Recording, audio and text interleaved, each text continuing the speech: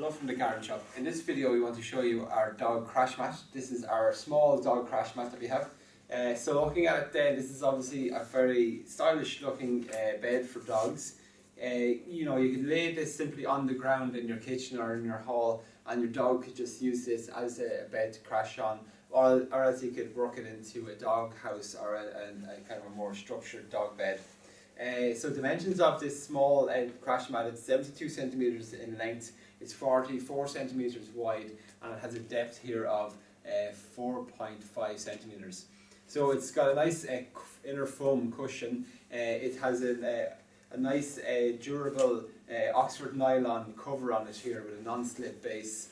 And uh, other than that, then you know the advantages of it is that you keep your dog comfortable, keep them up off the ground so that they'll be that little bit warmer, and obviously that will help to prevent uh, things like arthritis going into the future.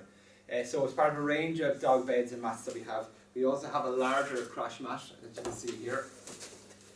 Okay, and then also we have a range of dog beds as well, such as our small uh, uh, dog bed that you can see here.